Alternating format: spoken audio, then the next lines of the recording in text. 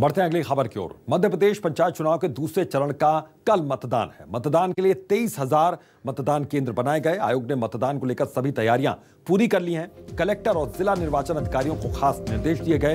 Voting के दौरान सुरक्षा को लेकर ये निर्देश दिए गए। राज्य निर्वाचन आयोग के सचिव राकेश सिंह से खास बातचीत की। वोटिंग के दौरान संवेदनशील जगहों पर खास तैयारी है। राकेश सिंह ने कहा, एक्स्ट्रा पुलिस बल को तैनात किया गया। पुनर्मतदान के हालात न बने, इसलिए अधिकारी अलर्ट रहे। राकेश सिंह ने यह साफ़ तौर पर कहा है।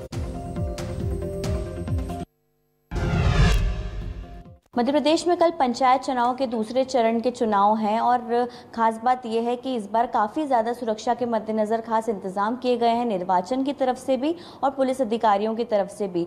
राज्य निर्वाचन आयोग के सचिव राकेश सिंह जी हमारे साथ यहाँ पर मौजूद हैं। हम वहीं से बातचीत करेंगे। सर, पिछली बार कई जगह उपद्रव सामने आया था, पुनर्मतदान की स्थिति भी हुई थी। तो क्या कुछ इस बार सुरक्षा के मद्देनज़र इंतज़ाम दिए गए हैं और क्या कुछ निर्देश है राज्य निर्वाचन आयोग के अधिकारी जो तैनात है वहाँ हमारा जो कल मतदान है, दूसरे दौर का पंचायत का, उसका सामग्री वितरण हो गया है और प्रक्रिया भी चल भी रही है। शाम तक मतदान दल पहुँच के वहाँ अपनी तैयारी कर लेंगे। प्रत्येक मतदान केंद्र पर सुरक्षाकर्मी लगे हैं। हमारी मोबाइल टीमें हैं, सेक्टर मजिस्ट्रेट हैं और सभी तरह की इस तरह से तैयारियाँ हैं। जहाँ तक पिछले दौर में जो पुनर्मतदान का प्रश्न है तो जिन उपद्रवी लोगों ने ये कार्य किया था। उनके खिलाफ सख्त कार्रवाई हुई है, आपने देखा। और राशि की वसूली, अन्य कार्रवाइयाँ आप सबके मीडिया में प्रकाश में हैं।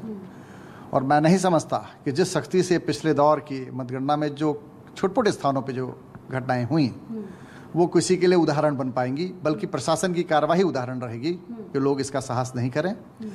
और अगर कहीं कोई इसके बाद भी घटना होती है तो विधि अनुसार कड़ी कार्रवाई हो जाएगी।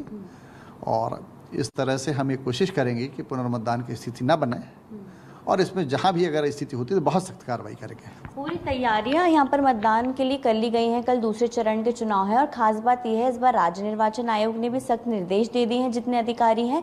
खास तैयारियाँ पूरी तरीके से पुलिस प्रशासन ने भी की है और यहाँ पर साफ़ कर दिया गया है कि अगर दोबारा ऐसी कोई चीज़ होती है तो कड़ी से कड़ी कार्रवाई ज़रूर की जाएगी। कैमरामैन खेमचंद के साथ अमृताशी जोशी, न्यूज़ ट्वेंटी भोपाल।